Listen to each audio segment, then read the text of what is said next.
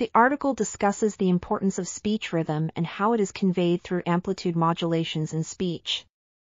These modulations contain important markers for place and manner of articulation, segmental information, and speech rate. Behavioral studies show that listeners rely on this information for speech intelligibility. Neuroimaging data suggests that phase locking by ongoing cortical oscillations to low-frequency information, 4 to 8 Hz, in the speech envelope helps encode predictions of when important events are likely to occur, increasing sensitivity to relevant acoustic cues. The perception of phonemes and words in connected speech is influenced by preceding speech rate.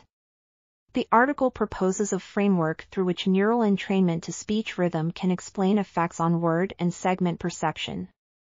Acoustic amplitude modulations are processed largely bilaterally in auditory cortex, with intelligible speech resulting in additional recruitment of left hemisphere regions, including lateral anterior temporal cortex, which functions in a domain general fashion to support ongoing memory and integration of meaningful input.